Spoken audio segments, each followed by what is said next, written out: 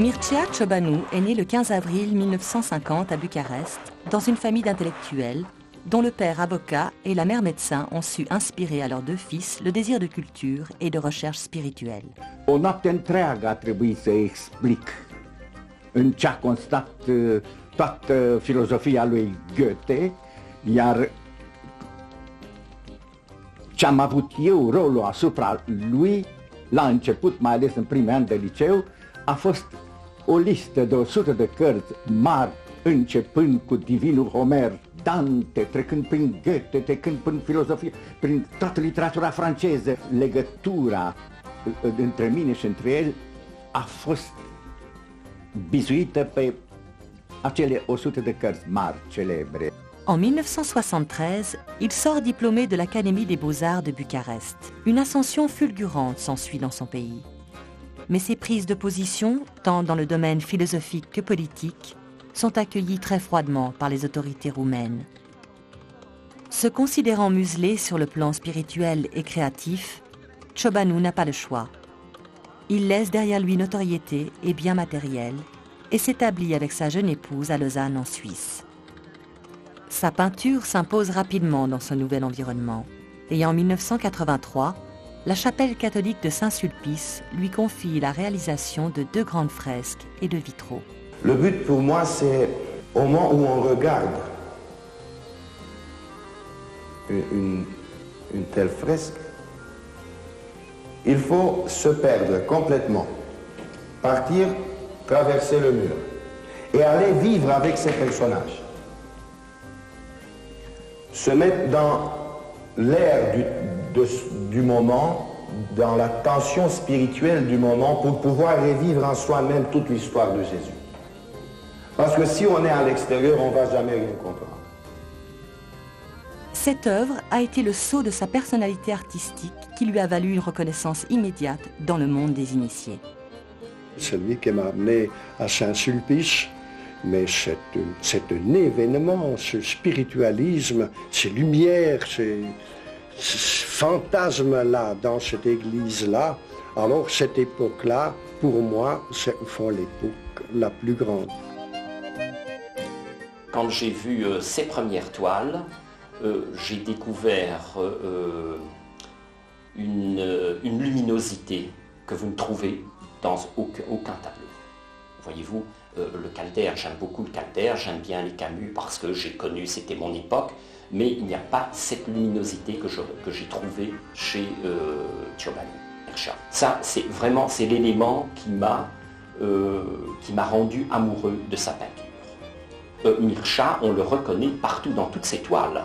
On ne doit pas me présenter euh, dix toiles pour le reconnaître. Vous me montrez une toile, je dis c'est Mircea. Quand Camus a vu ce tableau, la première chose qu'il a dit en regardant dans les yeux euh, mais vous au moins, vous avez non seulement trouvé le clair-obscur, mais vous le définissez comme aucun peintre n'a su le faire jusque maintenant. En février 1984, Katia Granoff lui ouvre les portes de ses deux galeries parisiennes, Place Beauvau et Quai Conti. Pour le comparer au point de vue de l'élan créateur, je pourrais le comparer par exemple à Chagall, qui aussi est venu en France absolument inconnu et dont j'ai eu euh, la chance euh, de, faire, de faire les premiers pas, la première gloire de, de Chagall. Quand il a exposé la première fois chez moi, on a dit que c'était un fou et que moi, je ne valais guère mieux. En octobre 1984, Chobanu traverse l'Atlantique pour présenter au public brésilien ses œuvres qui seront exposées au musée d'art de Sao Paulo. O sucesso foi enorme em termos de crítico. Há uma luminosidade dos quadros de Giovanni, luminosidade tipo delatura, com uma técnica que eu creio que aprendeu nas igrejas da Moldávia e ah, estudando os grandes maestros do século XV, XVI e XVII. Nas paisagens, ah, ele utilizava um conflito entre o céu e a terra, que era muito in- parecido com a, o conflito utilizado por Turner, a melhor exposição a mais importante nos últimos 15 anos. Gilles Néret, critique parisien, journaliste, membre de la presse artistique et auteur de nombreux ouvrages sur Manet, Toulouse-Lautrec, Renoir, Dali ou Picasso, réalise également une monographie élogieuse sur Mircea Ciobanu. Je l'ai rencontré vraiment euh, à l'apogée de son travail et de sa gloire, parce qu'à l'époque, euh, c'était un prince.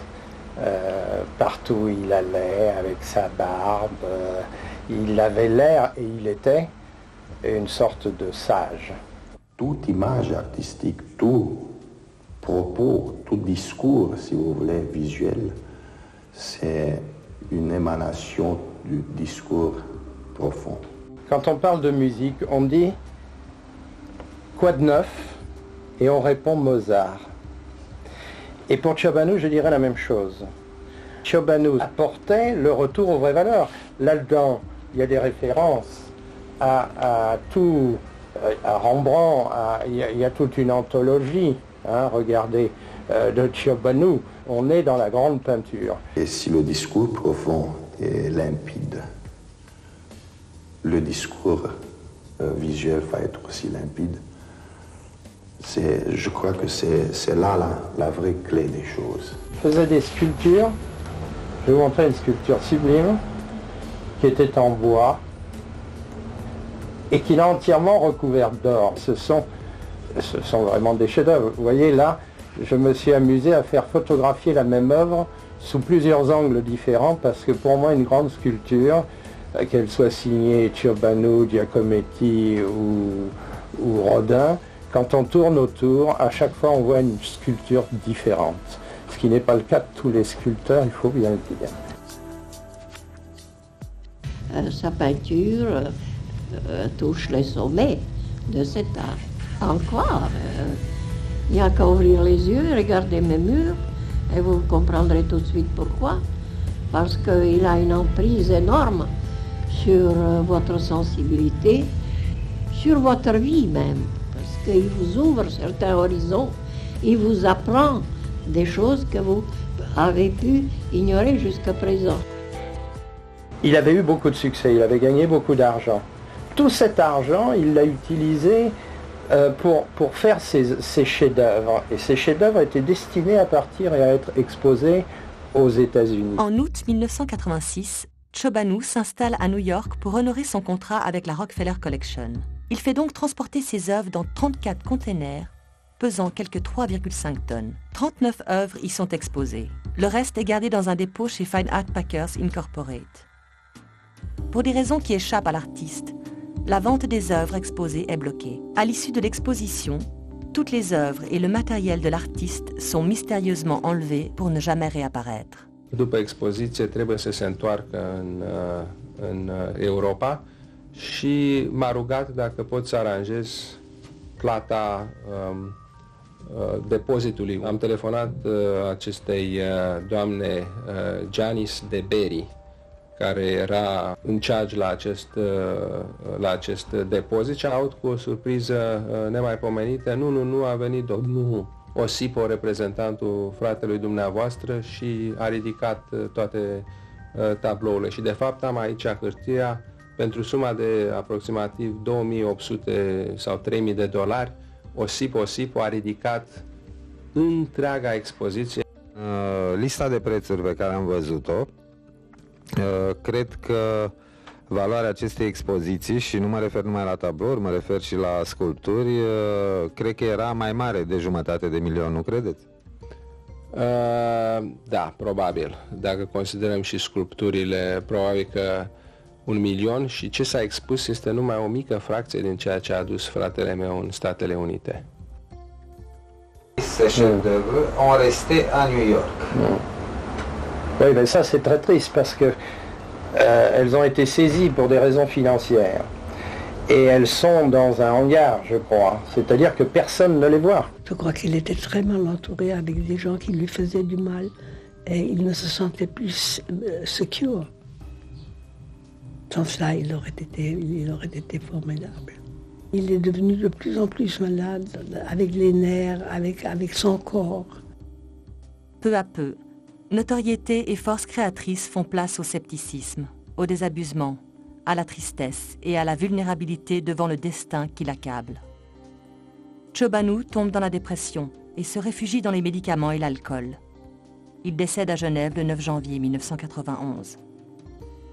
Pour la page culturelle de ce journal, Michel Kellenberger s'est intéressé à un peintre roumain, peintre d'exception qui vient pourtant de s'éteindre dans l'indifférence à Genève, Richard. Oui, Pierre-Alain, c'était Mircea Siobanou, un tout grand artiste qui s'est éteint à l'âge de 41 ans. Venu en Suisse il y a 8 ans, dimension artistique hors du commun, mais aussi carrure humaine exceptionnelle, Mircea Siobanou nous parle maintenant de son art, écoutez-le. Si on n'a pas l'appui du cœur et de l'esprit, on se trouve... Euh, vite devant un terrible vide. Alors c'est ce que j'essaie de faire, c'est de, raconter justement qu'il y a des endroits euh, infiniment plus riches et qui sont la base même du souffle de l'humanité qu'on a oublié. Et ce sont les endroits justement du cœur et de l'esprit. C'est d'ailleurs la raison pour laquelle je suis figuratif, parce que le cœur et l'esprit, ça appartient d'abord à l'homme. Mircea Chobanou, à 41 ans, laisse derrière lui sa femme et ses deux filles qui ont 7 et 14 ans. Un mois plus tard, la succession est ouverte à Genève sous la procédure du bénéfice d'inventaire. Les créanciers et détenteurs d'œuvres sont appelés à produire auprès de la justice leurs prétentions financières et à restituer les œuvres se trouvant en leur possession. Des montants faramineux sont réclamés sans qu'une œuvre ne soit déclarée ou rendue.